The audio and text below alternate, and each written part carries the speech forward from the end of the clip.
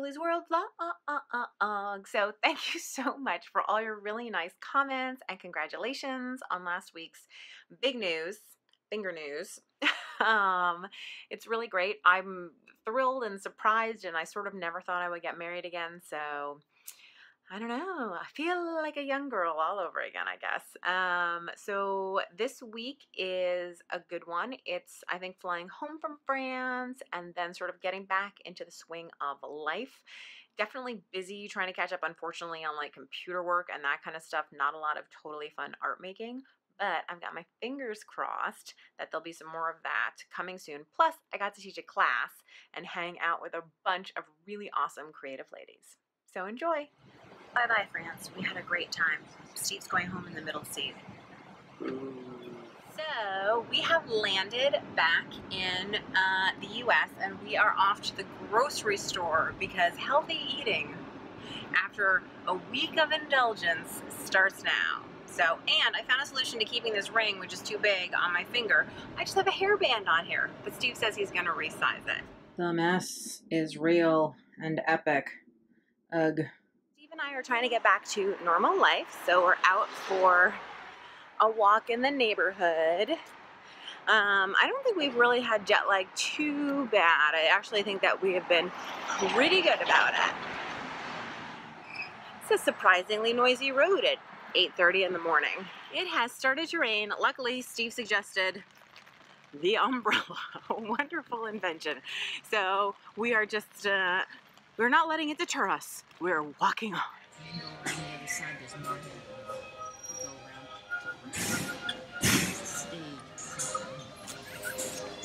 Oh, there is. It's playing music. Oh, and there's few things moving in there. That's crazy. So mom and I have been on a multi-hour um, search for these UHU glue sticks for my altered book class that I'm teaching this weekend. It's been kind of hilarious. We went to a lot of different stores. We did a lot Many of driving. towns. Many towns. But we had a good time and we found them, more importantly.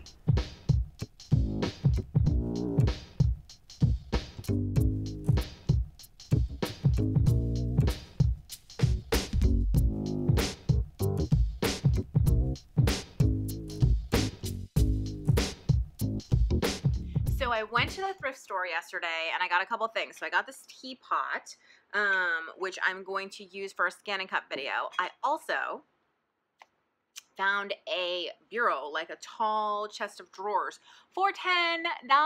It's ugly, it's plain blue, but $10, come on, I'm gonna paint it. It's gonna be awesome.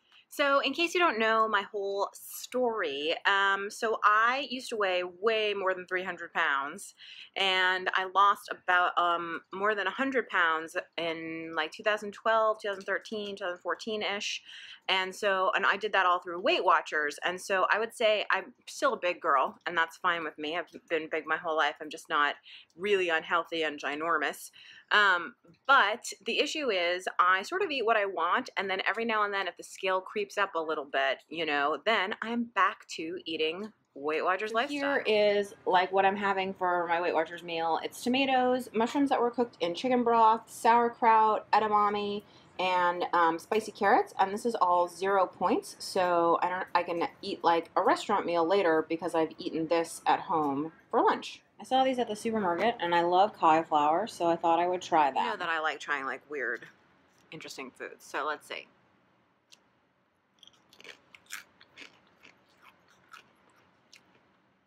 Very crispy, like, and they don't taste like cauliflower. They mostly taste like salt. Um, they taste a little bit like grainy. Not the texture's not grainy, but you know when you eat like um a multi-grain thing and it has a particular kind of texture. Um, I don't dislike them. But do I like them? I'm working on some ScanNCut videos today, and so you can see I just finished decorating this cup and now I'm taking some photos of it. This is a true story, 100%. So, I am filming a bunch of ScanNCut videos and trying to work through some different things and planning projects.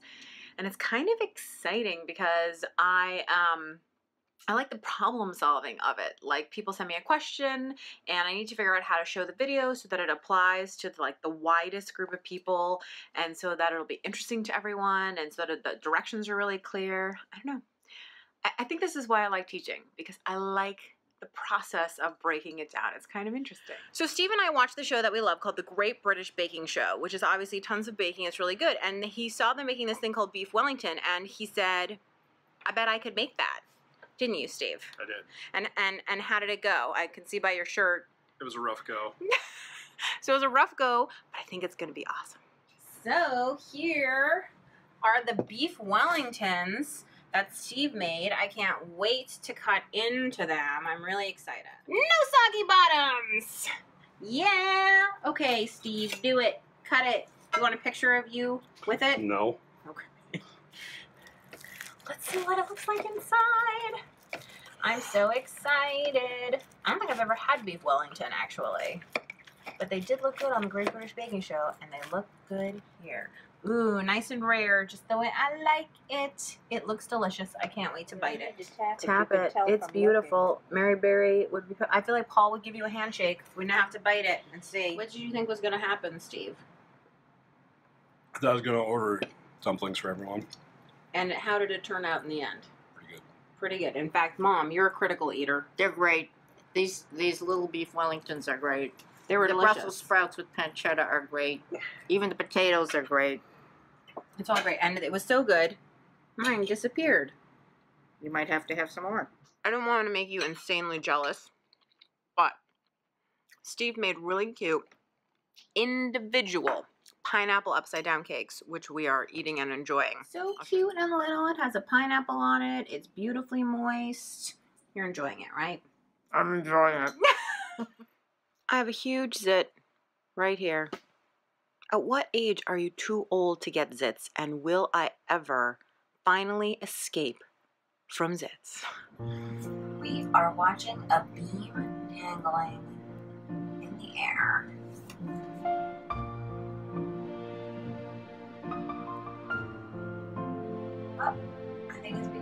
Place. That's the hole where Steve and I had our first date, but it wasn't a hole at that time.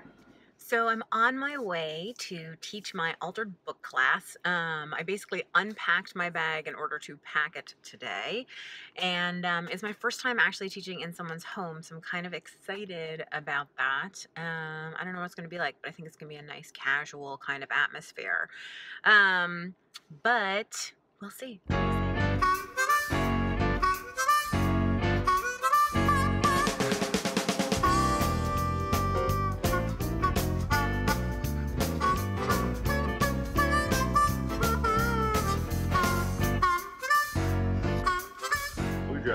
Blue drink, blue ring, and show me blue steel.